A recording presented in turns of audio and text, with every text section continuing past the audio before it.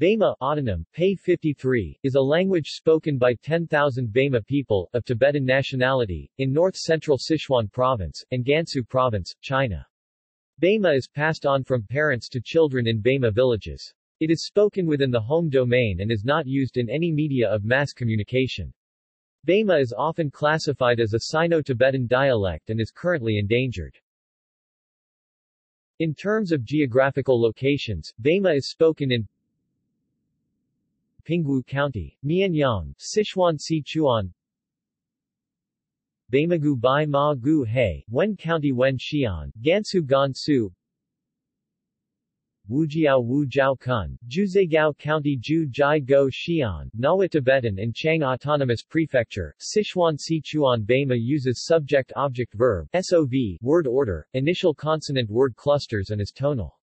It is unclassified within Sino-Tibetan. There are multiple layers of borrowings from Amdo, Khams, and Zhongu Tibetan, as well as lexical and grammatical connections with Qiangic languages. Basic vocabulary is about 85% Tibetic and 15% Qiangic, and the Tibetic words do not link to any established group of Tibetic languages. Chirkova 2008 suggests that the Qiangic vocabulary might be a retention from the language originally spoken by the Baima before their shift to a form of Tibetic in the 7th century. She accepts Baima as Tibetan, but as an isolate within the Tibetic languages. History Baima speakers number around 10,000 and have lived for generations in the mountainous region spanning the borders of Sichuan Province and Gansu Province. After the establishment of the People's Republic of China in 1949, Baima speakers have requested to grant them recognition as an independent ethnic group on many occasions. Historians believe that the Baima are descendants of the ancient Di people in China. Chinese records from 551 AD mention that the Di are also called Baima. One historian states, the Baima tribe was the largest tribe of the Di nationality, which lived in Gansu, Sichuan and Shaanxi during the Three Kingdoms period 220–265 AD. Tibetans invaded the Di territory in the 7th century and assimilated the local population, which probably subsequently shifted into a form of Tibetan spoken by the invaders. Linguists consider Baima to be an independent language of the Tibetan branch but the language itself has been greatly influenced by Tibetan. In addition, DNA specialists have discovered that the Baima are genetically closer to the Qiang people than to the Tibetans. Dialects There are distinctions within the Baima language itself. Baima is mainly divided into three dialect groups, Southern Baima, Pingwu Baima, Northern Baima, Wenxian Baima, Western Baima, Jiuzhaigou Baima, Songpan Baima. The Baima spoken in Jiuzhaigou and surrounding areas differs from that spoken in Songpan County in the Aba Tibetan Qiang Autonomous Prefecture and Wenxian County in Gansu Province. Sun Hongkai, et al. 2007 document the following three dialects of Baima. Pingwu County, Sichuan Tilu, Tai Lu Kang Zhu Shang Wen County, Gansu Wujiao, Wujiao Shang Jiuzhaigou County, Sichuan Classification The classification of Baima has caused controversy among linguists. Baima is provisionally classified with the Khams group, although it also has a number of Amdo characteristics. Reasons for this are presumably the drastic simplification of the syllable structure, the elimination of ancient Tibetan syllables codas and the presence of tones. While many scholars believe that Baima is a separate Tibeto-Burma subgroup in its own right, others believe that it should be identified as a Tibetan dialect. While Baima and Tibetan share many basic similarities, they are essentially different. In fact, the differences between Baima and Tibetan far exceeded those existing between the three main Tibetan dialects spoken within Chinese territory. Therefore, Baima scholar, Sun Hongkai, argued that Baima should be considered an independent language which is different from Tibetan but which belongs to the Tibetan branch. Vocabulary Overall, Baima vocabulary is highly heterogeneous. It consists predominantly of transparent Tibetan provenance and appears to combine features of Khams and Amdo. However, sound correspondences between sound system of ancient Tibetan, as reflected in standard written Tibetan orthography and Baima are less regular than those between written Tibetan orthography and established groups of modern Tibetan dialects. Baima vocabulary also exhibits two features which are not present in all other dialects, first, voicing of voiceless aspirated stops and affricates after nasal prefixes, second, the treatment of written Tibetan orthography. Furthermore, Baima has some words that are of unclear etymology, even in its basic vocabulary. The proportion of these words has never been estimated, nor has basic vocabulary ever been the topic of detailed investigation. In Ekaterina Chirkova's article, on the position of Baima within Tibetan, a look from basic vocabulary, she examined the 100-word Swadesh list for Baima, as the layer of lexicon which is arguably least resistible to change and which therefore can shed light on the genetic affiliation of this language. She then discovered that the 100-word Swadesh list for Baima contains 84 words of Tibetan origin, 15 words of unclear origin and another 7 words with partial cognation, in which one element is of unidentified origin. Four words are doublets, most of which combine one word of unclear origin with a word of Tibetan origin. According to her analysis, Baima has a simple syllable structure.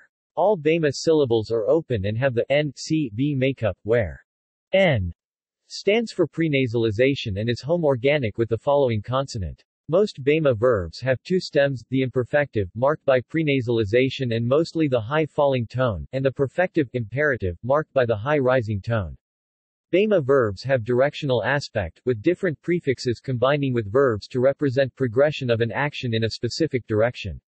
Using prefixes to show directional aspect is an important and unique feature in Baima language. In sum, Chirkova concluded that Baima diverge significantly in lexicon and phonology from the established groups of Tibetan dialects. Grammar Baima dual and plural pronouns for the first person have inclusive and exclusive forms. Baima singular personal pronouns have nominative accusative forms, which are expressed by inflectional changes in the vowels. The forms of Baima pronouns for the third person, whether singular, dual, or plural, are very different from those in the Tibetan dialects. In comparison to Tibetan, Baima has many more classifiers. Among the over 3,000 common lexical items included in a study of the Baima lexicon transcribed in Tibetan and Chinese, there were over 110 specific or lone classifiers. For instance, in Baima, there are many different words for the numeral 1, which can combine with classifiers and the reason for it is unclear. An increasing number of classifiers also led to an increase in their function in Baima grammar, while the ways in which they are used are also changing. Directionality is an important grammatical feature in Baima. Baima has a large number of case-marking articles, which perform very important syntactic functions. Phonology the phonology of Baima is very similar to that of the Kham-Tibetan dialect. They have both retained a voiced-voiceless contrast and have four to five contrastive tones as opposed to Amdo dialect. Affricates, four sets of affricates exist in the Baima language. They are apical, retroflex, laminal and prelaminal rhymes. Baima rhymes are very similar to the Kham-Tibetan dialect but its vowel system is much more complex. Codas have essentially been lost and vowels show considerable differentiation, with the appearance of many back diphthongs. In general, the number of tones in Baima is also similar to Kham-Tibetan. But the correspondences between Baima tones, onsets, and rhymes with written Tibetan are not as clear as those between Kham-Tibetan and written Tibetan. Controversy the status of the Baima language has caused major controversy among scholars and the people within the region. As a native language spoken by the natives in the Tibetan region, Baima certainly shared similarities with Tibetan dialects. Although the Baima people have sought after their claims as an independent ethnic group since the 1960s, the Baima language remained classified as a Tibetan dialect. According to linguistic research conducted by Baima scholars such as Song Hongkai, Nishida Tatsuya, and Katia Chirkova, who extensively analyzed the grammatical, lexical, and phonological differences between Baima and Tibetan, Baima should not be regarded as a Tibetan dialect, but instead, an independent language within the Tibetan branch. Because of its status as a minority language, the use of Baima is limited to religious ceremonies and intercommunication between Baima villages, which significantly furthered the endangerment of Baima language. Additionally, the language of communication with neighboring communities throughout all Baima-inhabited areas is Mandarin Chinese. As for the Baima people themselves, they were never officially reclassified as an individual ethnic group rather than a branch of Tibetans, as Reclassification of ethnic groups listed as Tibetans remains a sensitive issue in the PRC, and is considered by many Tibetans as an attack on Tibetan identity by the Chinese government. As a result, the Baima language remains poorly documented till this day and continues to raise the question of language and the role of cultural survival. References